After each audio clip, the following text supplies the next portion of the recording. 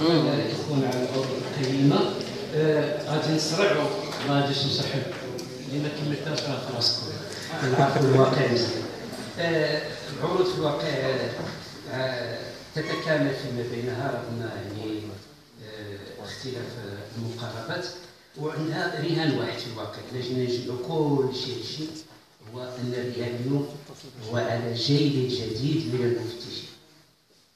خاصة أننا أمام انقراض جيد كنت أعتبر نفسي جديد فيه.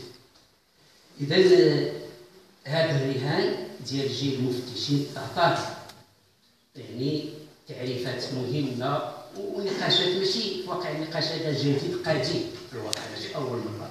المفتش المخطط المفتش المكون المفتش الباحث المفتش الخبير بدل المفتش رجل إطفاء ماشي حتى مراقب رجل اطفاء يعني تكون جالسه على الكتاب كلها هي كنفك النزاعات في المؤسسات خاصه في السنة اذا هذا هذا رهان اساسي ولكن لا نختلف بشكل عام عليه ولكن نختلف حول كيف كيف ماذا هيئنا هل الوزارة خططت لهذا الجيل الجديد من المفتشين هذه الرؤية.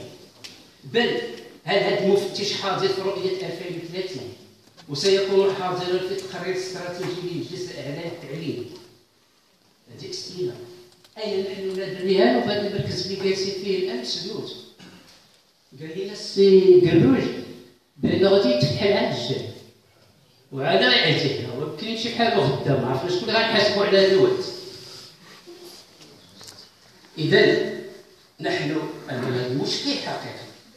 ما نطولش نحن في حاجة إلى المفتش بكل المواصفات اللي جات في العرضين القيمين ديال الإخوان الاخوين الزميلين زميل ومنصف وكذلك في عرض الأستاذ أستاذ خالد.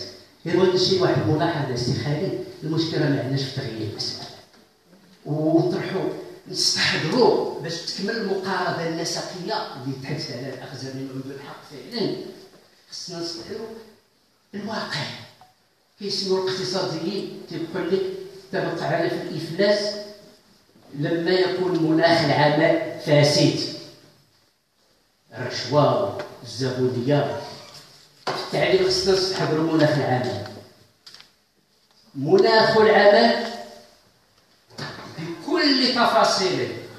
تربوي السائد اللي تتختنق في ظل جميع المشاريع والرؤى والمقترحات الإصلاحية جماعية كانت أو فرديه حيث تكون هي فرديه داخل المؤسسه هل لدينا فعلا المدير اليوم المكون والمؤهل لأن يلعب دور المؤقت إن لم يكن ماذا؟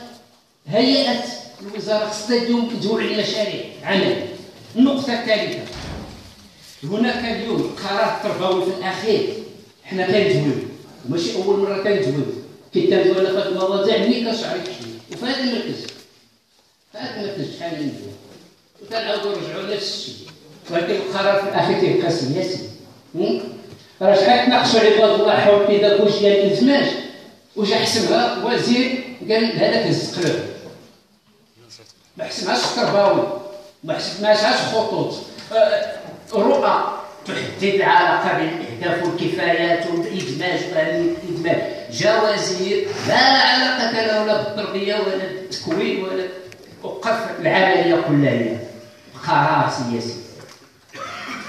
ورؤاكم ومشاريعكم وكل ذاك المجهود والعرق اللي كان ديال الفاعلين التربويين في هذا المجال. كل شتوى ورق ديال الانتماج وحطوهم وكراساتهم وحطوهم. اليوم قرار سياسي نطاق قرار سياسي هو قرار خصنا ندوي فيه. ماشي على فقط أفق. خصنا ندوي فيه على سياسات عمومية مسؤولة على تنزيل بين قوسين. كل هذه الرؤى إلى أرض الواقع وفي الميدان في المؤسسة إلى آخره. وفي هذه السياسات العمومية آخر ملاحظة خصنا نتجاوزوا كفاعلين تربويين بأن الوزارة هي بوحدها مسؤولة.